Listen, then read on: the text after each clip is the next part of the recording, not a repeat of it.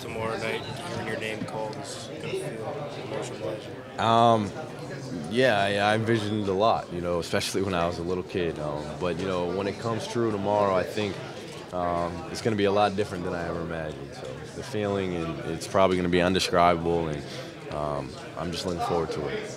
How has Syracuse helped you prepare for this moment? Uh, Syracuse helped me a lot. Um, you know, they prepared me to, to, you know, to be a man. For uh, you know, in the NBA, they prepared me uh, on on the court uh, how to handle myself as a person.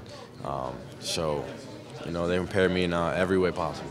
Do you think you can step in and make an immediate impact in the league? Uh, definitely. You know, I think you know I have a lot of confidence in my game. I think I'll be able to you know go in go in there and make other other people other people better and uh, you know defend multiple positions. How are you gonna sleep on a night like tonight?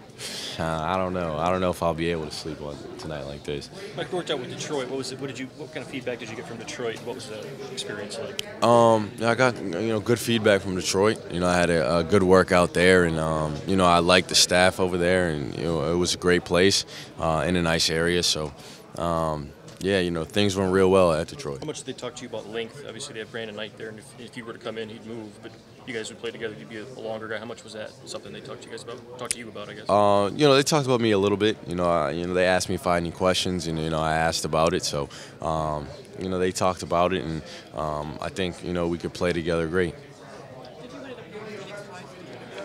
Yeah, I went to Phoenix twice. Yeah. yeah. No, I, I didn't go see Orlando. No.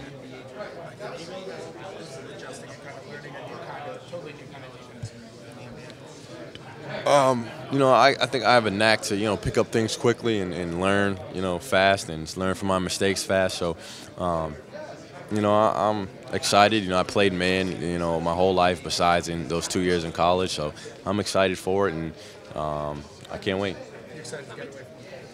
Yeah, if I get away from the cold. Is that one of the things that, that coaches maybe focused on during workouts, um, man-to-man defense, because you had been playing so much zone? in college? Um, yeah, there was a, some some drills that you know when I go I went against people to, to test my defense, and you know I think I did pretty well. When you when you changed roles so much between between the two years at Syracuse, uh, how much of a learning curve was that? Do you think that maybe helps you for the next step when, when it's going to change again? Um, yeah, you know I learned a lot from my first year to my second year. Um, you know, I'm sure I'll learn a lot from my rookie year to my sophomore year in the NBA. So, you know, I'm always looking to learn.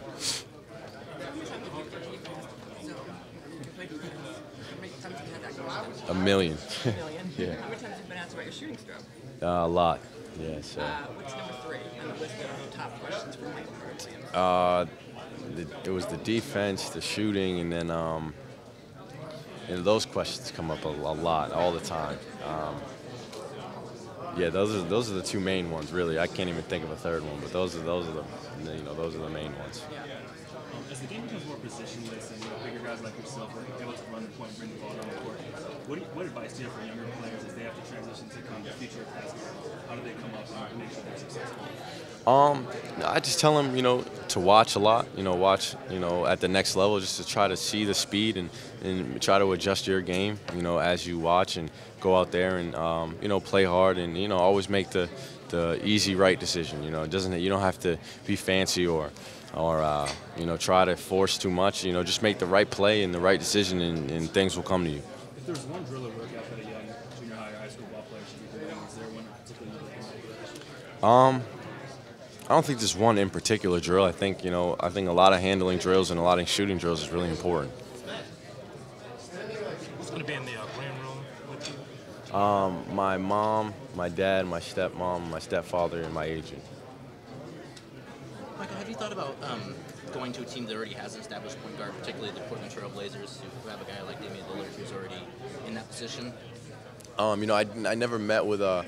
I interviewed with Portland. I never went to work out with them.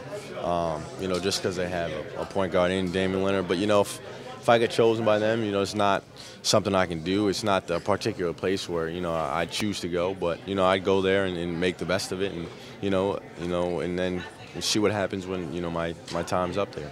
How many teams did you actually visit? Uh, seven. I went to Phoenix twice. So and how many did you interview with? Um, well, I was just talking about. I didn't go to Portland. I was talking about during the com, during the NBA combine. you know, we did all those interviews with teams. So I did about 20 interviews there. So with all that, is any idea of where you could go, or is it just like No idea. I, mean, I tried to figure it out. I learned just to let it go. Are you, re- are you ready for the surprises of draft day?